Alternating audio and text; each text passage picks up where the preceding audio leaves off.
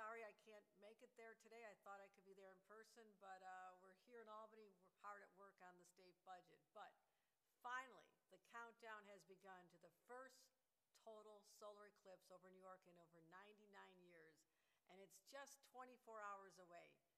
This is a once in a lifetime opportunity to witness the majesty of God's creation as the eyes from the earth look to the heavens. It'll be breathtaking to see the sun covered in its totality, leaving us mere mortals in darkness for over three minutes. First of all, Commissioner Bray, I want to thank you and your whole team at the Division of Homeland Security and Emergency Services for the preparations, uh, the intent, seriousness in which we've brought to this, treating it like it's one of the big blizzards, as we've treated it as if it's one of the big storms, and so we want to make sure that we keep people safe. Also, our acting commissioner, Randy Simons of Office of Parks and Recreation, you'll be hearing from him to talk about how our state parks, including the one and only Niagara Falls State Park, are re- ready for this rare event.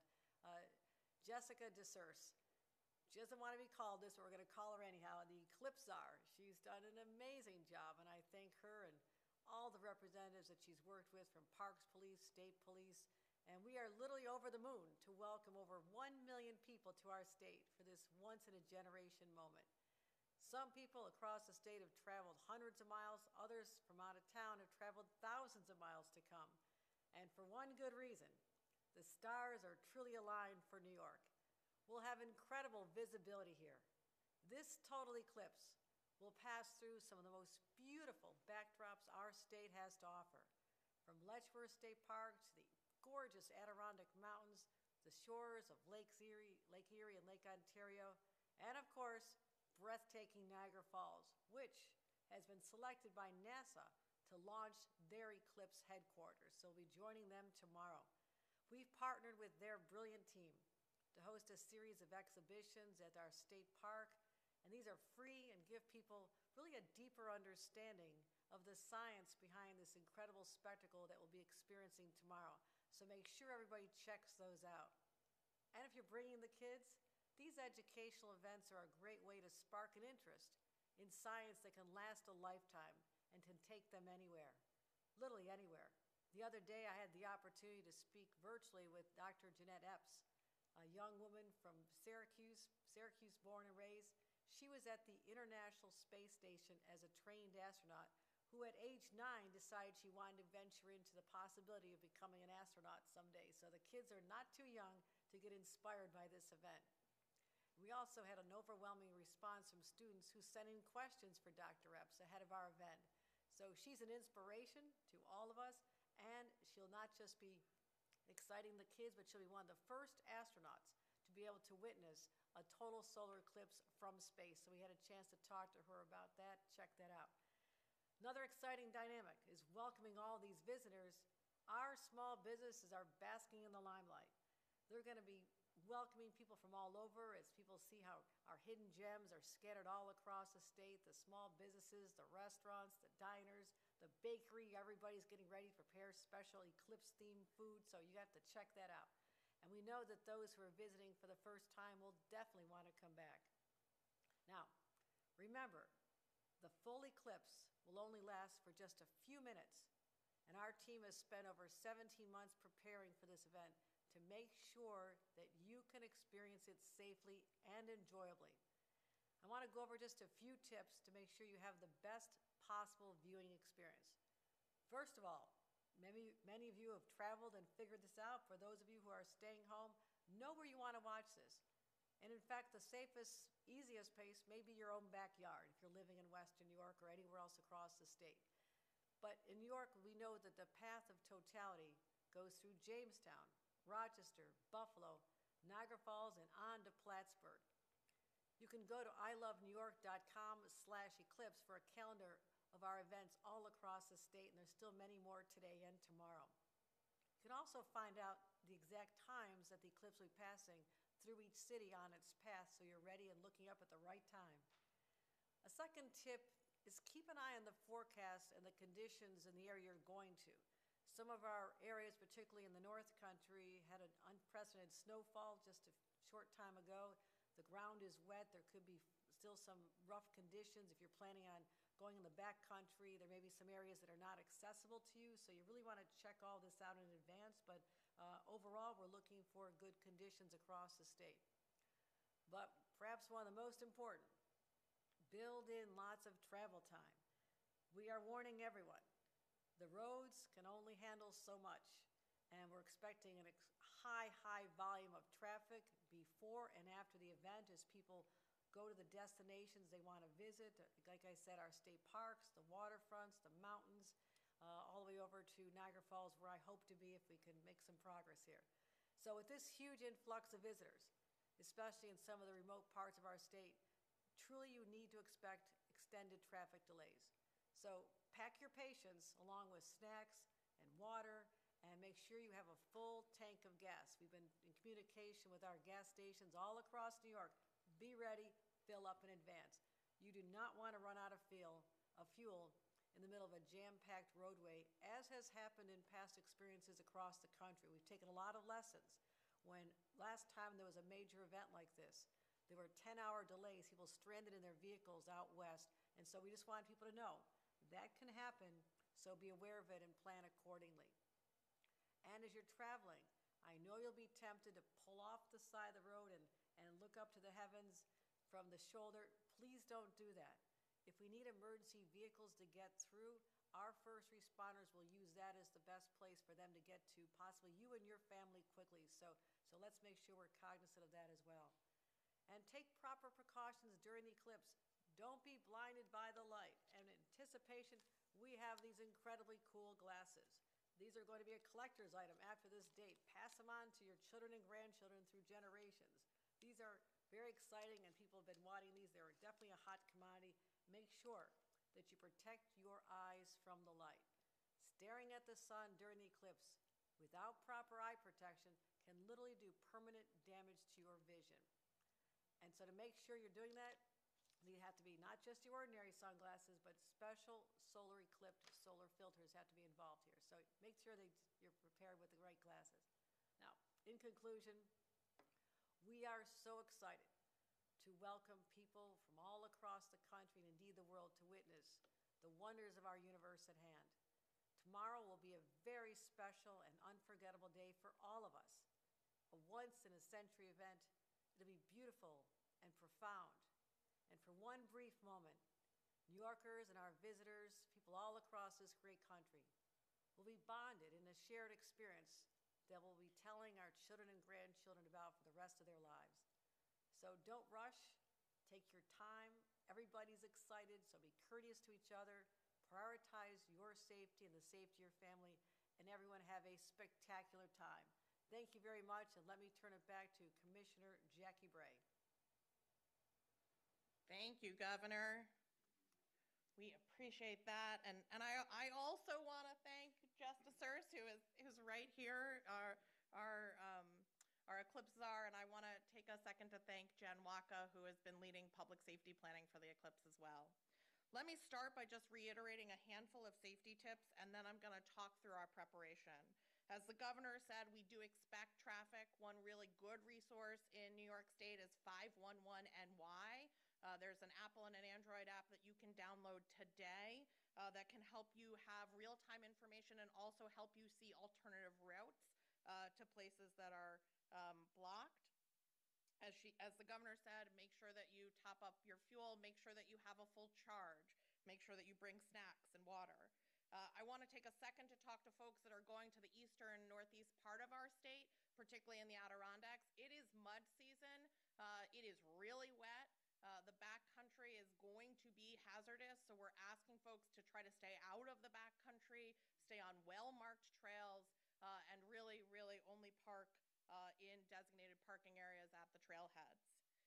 Um, as the governor said, parking it, parking's a big deal for us, so please do not park on the side of the roads. I want to reiterate, we will be ticketing and towing rapidly tomorrow morning particularly up in the North Country. So if you are up in the North Country, if you are on uh, two lane roads, we will be ticketing you, we will be towing you, uh, and that's really uh, simply because it's a public safety hazard for us to not be able to move emergency vehicles through.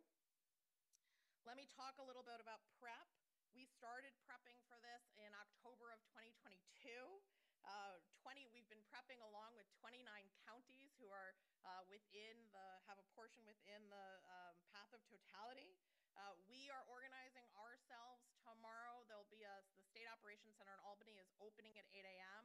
We're opening a regional operations center in the Lake Placid area and a regional operations center in the Buffalo area.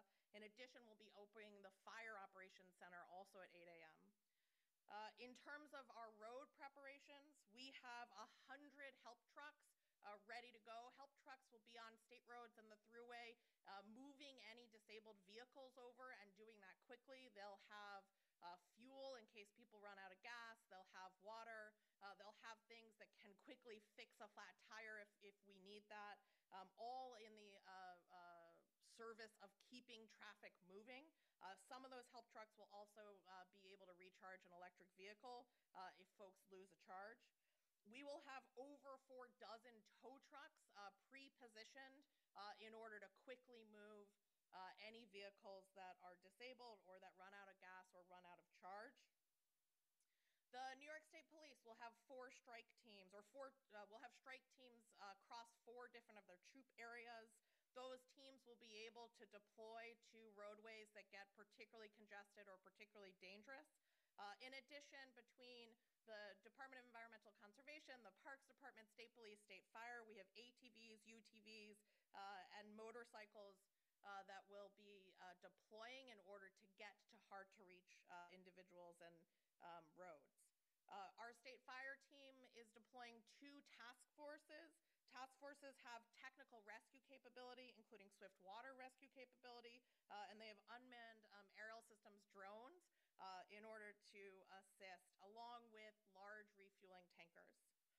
We will be sending a wireless emergency alert in the Adirondack area to remind people not to park on the sides of the roads tomorrow morning uh, and to let folks know that we will be ticketing and towing. We have over two dozen boats uh, that we're deploying uh, between our Parks Department and our Division of Environmental Conservation in order to get ahead of any uh, maritime issues.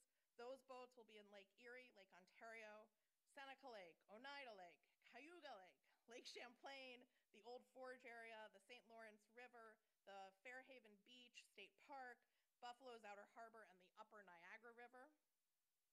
We are deploying our aviation assets. Those include both fixed wings and rotary uh, aircraft for emergency response, along with over a dozen drones to give us real-time traffic information and real-time looks uh, at roads that we don't have uh, cameras on or access to. The State Department of Health is deploying 20 ambulances strategically placed across the state uh, in anticipation of potentially needing additional uh, EMS capacity.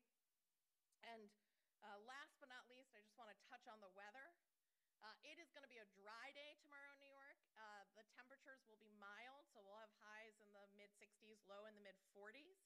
Uh, we do anticipate some cloud cover out west uh, extending to the western edge of the Adirondacks. Uh, that seems to be getting more and more likely uh, that there'll be additional cloud cover. We do expect very minimal cloud cover in the Plattsburgh area and the sort of northeast of our state. And with that, I'm going to introduce Randy Simons, our acting Parks Commissioner. Good afternoon. Thank you, Governor. Commissioner, it's always a pleasure to stand with you. And I've never been in a room with Eclipse Czar, so this is a, this is a first for, for a lot of us. I get to talk about all the fun stuff uh, and also just to emphasize our readiness on, on the state park side. Look, we're one day away, right, from the universe putting on the show of shows, right? It's going to be a great cosmic display. And New York State is really the center stage for a lot of this. You heard the governor. Everywhere from Western New York, Finger Lakes, Allegheny, Central New York, the Adirondacks, North Country, Thousand Islands. And think about all the awe inspiring locations within those regions. You're going to hear me talk about a lot of state parks. That's what I'm paid to do. Buffalo Harbor State Park, Niagara Falls, I mean, can you think of a better backdrop uh, than right here? Allegany State Park, Letchworth, you heard the governor. Uh, you have Green Lakes, Fairhaven, Southwick, uh, the list goes on and on. Uh, so with all those, uh, some of those awe-inspiring backdrops, millions are going to descend on New York, specifically in the path of totality, uh, but really all across uh, New York State. Uh, and, and, I want to emphasize the readiness that we are here at State Parks. And while this uh, experience will be unforgettable for all, uh, it also is reliant on our visitors uh, and their readiness as well. So, at state parks, what are we doing? Uh, you know, to uh, increase accommodation uh, all across the state, especially in the path of totality. Uh, we opened up a lot of campgrounds early this year. Uh, proud to say we're 100% occupied uh, on tonight. And really, what's equally nice to hear is tomorrow night we're 93% occupied. So, what does that tell us? That people are heeding the warning, right? They're coming. They're not just going to witness the eclipse and leave, uh, but they're going to stay. They're going to make an experience out of it, and that will certainly help us out on the traffic side as well. Uh, we are increasing presence at all our parks uh, in the path of totality and outside the totality. Uh, park police, uh, park rangers, uh, and our park staff. We're a thousand strong just at the parks in the path of totality, and thousands more uh, in, in, in parks outside the uh, path, uh, you know, because obviously, you know, 100% i- is where you want to be, uh, but still, the experience uh, will be quite incredible in, in areas outside the path of totality as well. All parks, you know, within the path of totality, you know, I want to emphasize at many of our parks, uh, parking, uh, we're expecting it will fill to capacity really early. Now, this is not uncommon uh, you know, at our parks on a great summer day, you know, on a weekend or, or weekday, uh, we do fill pretty quickly. Uh, so some tips for you all, uh, for our visitors, uh, get here early, right? Stay late, you've heard that. But also just have an alternative plan, another location that you may want to experience the eclipse. And also GPS oftentimes uh, will take you to one parking lot within a park and just know, like at Niagara Falls, it takes you to the main parking area, but there are other parking lots uh, within the park that you are going to. So really just be uh, familiar uh, with sort of the park footprint or the footprint of where you're visiting uh, at any location. You heard the commissioner, right? We're encouraging visitors uh, to stay in the safe spots to witness the eclipse. You know, avoid the backcountry, as you heard. Uh, avoid going off trail. You're not going to find a better experience by doing that uh, within the park confines or within sort of these safe designated areas. Uh, you'll get the full experience of the eclipse. Uh, in addition to 511, our state parks explore app.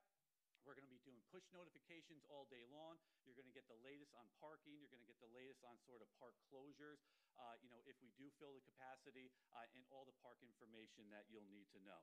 So that's the readiness, uh, and now the fun part. I mean, we packed in sort of, uh, you know, in addition to packing the patience, we packed in plenty of fun over uh, uh, the next few days.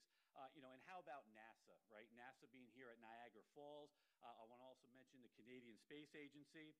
They have multiple days of science, public education, and more. Uh, I went through the experience uh, in, in about a, a half hour to an hour, and I'll tell you, it was incredible. Uh, you're going to uh, have plenty of opportunities to meet and greet astronauts and, and, and space engineers. Uh, the Canadian Space Agency brought out a virtual reality experience. It's about an eight minute experience, and it literally puts you on the International Space Station. You can appreciate obviously, you know, you know what is out there with the infrastructure and the technology. Uh, and, and I learned about Artemis 2, right? This is uh, this is set to go up in 2025 uh, to, to circle the moon, which is ultimately will lead to Artemis 3 in 2028, which will put the first woman on the moon uh, in history. So again, all this that we're learning, this education, it, it, it's deepening and connecting our experience to what we'll see tomorrow. Uh, and pretty thrilled to have NASA and the Canadian Space Agency here. Uh, so with that special programming across our parks, uh, both inside the path of totality and outside, uh, you know, in, in music, games, food, fun, festivals, and more. Uh, 84 million visitors uh, visit our parks each year. We're expecting much more in the centennial year, uh, and our teams, you know, certainly stand at the ready. So if visitors come prepared as well tomorrow, they will have an unforgettable experience. So with that, with our centennial tagline, I'll leave you. We'll see you out there. Yay. Uh, any questions? When you said uh, a hundred percent of the parks, did you mean like all the parks in New York or in the path of totality? What, what is that, what does that talk, what does that mean? So as as far as security or readiness? 100% um, occupancy. Occupancy. So, so we open campgrounds. So typically campgrounds open up in May. Uh, in the path of totality, because of the uh, sort of the onslaught of uh, accommodations that they were seeking, we opened up uh, uh, dozens of campgrounds within the path of totality, Western New York, Finger Lakes, up through uh, Central and the North Country, South, Thousand Islands. Uh, so those campgrounds are at 100%. So everything you've opened, basically, in the at the totality. On, on tonight, they are 100%, and then 93, and then drops to like 90%. So people are staying for a few days, even a week. So is, is Plattsburgh, is that, that's where you gotta be? I mean, uh, Here's what I will say, you know, um, uh, we do, you know, Plattsburgh will have the least cloud cover. There, there's no sort of, um, you know, uh, question about that. Um, we expect a somewhere between 60 and 80 percent cloud cover out here. Uh, what we don't have, uh, you know, what we won't know is how high those clouds are. If the higher the clouds are, the better shot we all have at um, sort of all of the bells and whistles of an eclipse. But no matter what, this is going to be an experience. No matter what, it's going to get, you know, it will be midnight dark, uh, you know, within minutes. Uh, no matter what, you'll see, you know, the wildlife will go quiet. Um, and, and it will be an experience regardless of where you are. Uh, but yeah, tomorrow Plattsburgh will have the least cloud cover. What, if anything, has been done as far as uh, security concerns, especially at the Niagara Falls with a number of people and the potential for disruption to cell service? Yeah, absolutely. So let me just say that if there is disruption to cell service, 911 will continue to work. Uh, we have been in regular touch with AT&T and Verizon uh, about maintaining um, both 911 specifically and, and broader cell coverage. There is a Wi-Fi network in Niagara Park, uh, State Park, which will help offset some of the volume. But I won't. I would not be surprised if cellular circuits are overloaded during different points of the day. Um, you know, if that happens, make sure that you are only calling 911 in the event of an emergency. Uh, being stuck on the road without cell re- reception, if you are okay, is not an emergency. Um, in addition, we have moved some assets, they're called colts, uh, into certain strategic locations. Uh, those provide even more robust cell coverage, uh, but they do it over a pretty narrow area. Uh, so they're, you know, the safety operations will have backup cell coverage tomorrow. And if I can, I would like to point out, certainly, uh, Park Police, we've uh, increased the presence by 200% here at Niagara Falls, uh, additional park rangers and park staff. Uh, And when we look at our partnerships with state police and local law enforcement, uh, you'll be hard pressed to sort of, you know, turn in a- in a full 360, at least in Niagara Falls, and not to see, you know, sort of some presence. And and- and knowing that these, uh, these you know, individuals are are also points of information as well. They can assist you with any needs or questions you have in the parks as well.